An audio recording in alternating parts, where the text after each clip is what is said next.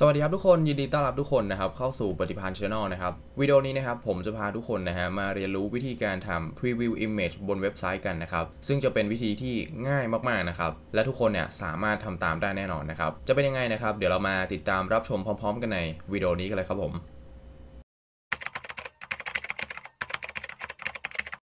โอเคนะครับทุกคนอันดับแรกเนี่ยก็เดี๋ยวให้ทุกคนนะครับมาที่เว็บไซต์ Bootstrap ก่อนนะครับ getbootstrap.com/docs slash 5.0 slash getting started slash introduction นะครับ ตรงนี้เนี่ยผมจะให้ทุกคนนะครับมา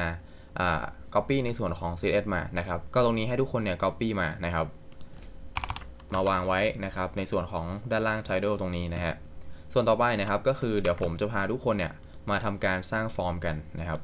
อะ ก็ตรงนี้ครับ เดี๋ยวผมจะมี section นะครับ มีคลาสเป็น py 5 นะครับ ก็คือ padding บนล่าง 5 นะฮะ จากนั้นเนี่ยผมก็จะมีอ่า class text center นะครับ จัดกึ่งกลางข้อความนะครับ แล้วก็จะเป็น container นะฮะ โอเค ส่วนต่อไปนะครับ ข้างใน section ตัวนี้ผมก็จะมี row มี py lg 5นะครับ แล้วก็ข้างในนี้ผมจะมี core lg 6นะครับ core md 8 แล้วก็จัดกึ่งกลางด้วย mx auto นะฮะ จากนั้นข้างในนี้ผมก็จะมี h1 นะครับ มี class เป็น fw light นะฮะ ผมก็จะเขียนว่า create post นะฮะ โอเค จากนั้นก็จะมี hr นะครับ ต่อจาก hr ผมก็จะมี form นะฮะ form ตัวนี้เนี่ย ผมจะให้มันอะ เว้นว่างไว้ก่อนนะครับ ใส่ action ไปแบบนี้นะฮะ ทีนี้ method ก็จะกำหนดเป็น post นะครับ จากนั้นก็เวลาที่เราจะมีการอัปโหลดอ่า เป็นรูปภาพเนี่ย อย่าลืมว่าจะต้องใส่เป็น nc type multipart form data ตามนี้นะครับ โอเค ข้างในนี้นะครับ เราก็จะมีพวก input ต่างๆ นะครับ เดี๋ยวผมจะมี margin bottom 3 ก่อนนะครับ ข้างในนี้เราก็จะมี label for image class form label image นะฮะ ต่อจาก label ตัวนี้นะครับ ก็จะมี input นะฮะ ท้ายตรงนี้จะเป็น file นะครับ จากนั้นผมจะให้มัน accept นะฮะ จะเป็นในส่วนของรูปภาพ slash ดอกจันนะครับ แล้วก็ตรงนี้ฮะ เราจะมีการกำหนด ID ด้วย ชื่อว่า img input นะครับ แล้วก็ name นะฮะ เป็น post underscore image class เป็น form control นะฮะ โอเค ต่อไปนะครับ ก็จะเป็นในส่วนของ tag img ที่เราเนี่ย จะนำเอารูปภาพมา preview หรือว่ามาแสดงตรงนี้นะครับ ซึ่งผมเนี่ย จะลบในส่วนของ src ออกไปนะครับ แล้วก็ในส่วนของ alt ตรงนี้นะฮะ ผมเนี่ยจะมี ID นะครับ ชื่อว่า preview img นะครับ แล้วก็ผมจะมี class เป็น img dash fluid rounded นะครับ โอเค ตามนี้นะครับ ก็ลองกด save นะฮะ อะ ทุกคนจะเห็นว่านี่ครับ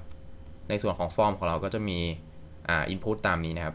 จากนั้นเนี่ยนะครับ ก็ต่อจากตรงนี้ฮะ เดี๋ยวผมจะมี mb 3นะครับ margin bottom 3 ก็จะมี อ่า เป็น label for นะครับ title class form label title นะครับ แล้วก็จะมี input นะครับ เป็น text name เป็น post underscore title class เป็น form control placeholder ก็จะเขียนว่า some title นะครับ โอเค ตามนี้นะครับผม จากนั้นเนี่ย ก็จะเป็นในส่วนของปุ่มนะครับ ผมก็จะมี button นะครับ class เป็น btn btn success type เป็น submit name เป็น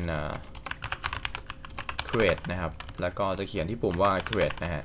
กด save ไปนะครับอะทุกคนก็จะพบกับว่านี่คือหน้าตาของฟอร์มเรานะครับ ทีนี้เนี่ย ถ้าทุกคนลอง shoot file ดูนะครับ จากนั้นเนี่ย ผมจะเลือกนะครับรูปภาพของผมก็เดี๋ยวผมจะเป็นรูปนี้แล้วกันนะครับ ซึ่งพอทุกคนเลือกเสร็จเนี่ยทุกคนจะเห็นว่า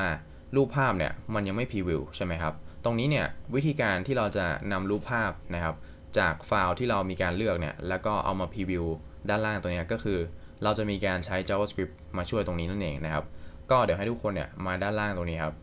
ด้านบนก่อนปิด tag body ตรงนี้นะฮะ เราจะสร้าง tag script ขึ้นมานะครับ โอเค ข้างใน tag script ตัวนี้นะครับ ก็เราเนี่ยจะต้องมีการ get นะครับในส่วนของ element มันมานะครับ ซึ่ง element ที่เราจะ get ก็จะมีในส่วนของตัว input ตัวนี้นะครับ ทุกคนจะเห็นว่าผมเนี่ย มีการกำหนด ID ให้มันใช่ไหมเป็น img input แล้วก็ในส่วนของ tag img ตัวนี้นะครับ เป็น id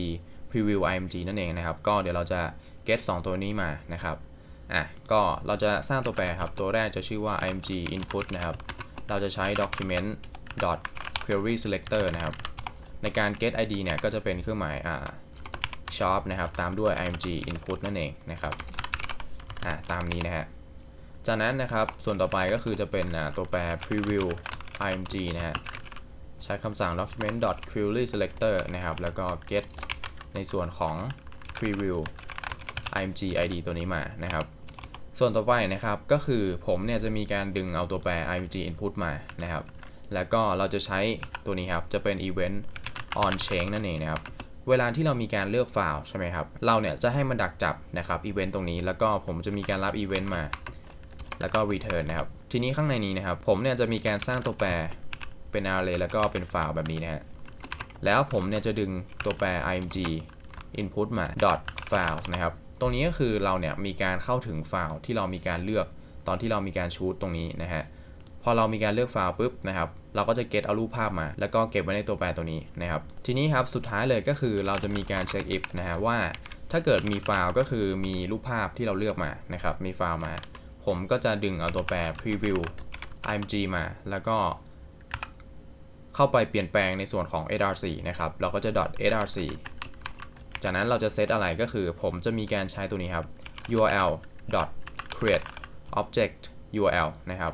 แล้วก็เราจะส่งไฟล์ไปนะครับไอตรงนี้ก็คือเราเนี่ยจะมีการส่งรูปภาพที่เรามีการ get มานะครับ แล้วก็เอาไป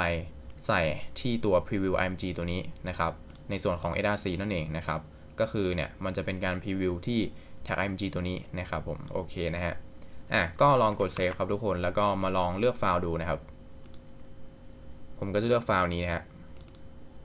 อ่านี่ครับทุกคนจะเห็นว่าตอนนี้ครับรูปภาพของเราเนี่ยมาแล้วนั่นเองนะครับผมเห็นไหมสวยงามเลยนะครับ ก็ตรงนี้ทุกคนจะเห็นนะครับว่าวิธีการทำ preview image บนเว็บไซต์นะครับ ก่อนที่เราจะมีการอัปโหลดเนี่ย ก็สามารถทำได้ง่ายๆ แบบนี้เลยนั่นเองนะครับ โอเคครับทุกคนสำหรับวิดีโอนี้นะครับ ก็คิดว่าจะเป็นประโยชน์ทุกคนนะครับ ที่กำลังมองหาวิธีการทำ preview image บนเว็บไซต์อยู่นะครับ ก็ลองเอาวิธีนี้นะครับ ไปประยุกต์ใช้กับโปรเจกต์ของทุกคนดูนะครับ หากชอบวิดีโอนี้นะครับ ก็อย่าลืมกดไลค์กด subscribe นะครับ แล้วรอติดตามชมวิดีโอต่อไปนะครับ แล้วเจอกันวิดีโอหน้าครับผมสำหรับวันนี้ขอตัวลาไปก่อน สวัสดีครับ